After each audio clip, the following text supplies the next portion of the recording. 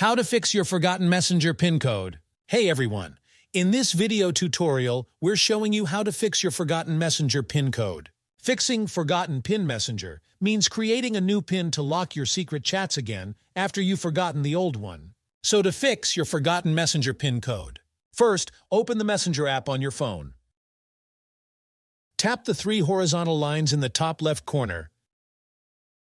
Tap on the settings icon in the top right corner.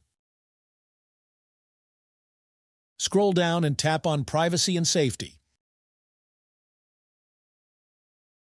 Under Security section, you'll see End-to-End -end Encrypted Chats. Tap to open it. Then tap on Message Storage.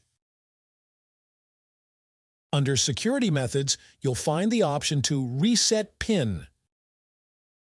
Tap on it to reset your PIN code. Now you'll be prompted to create a new PIN. Enter your new PIN twice to confirm. That's it.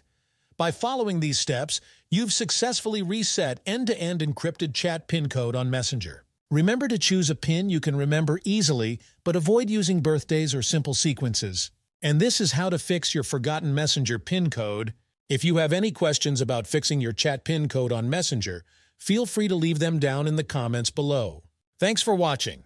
If you found this video helpful, do not forget to like this video and subscribe to this channel.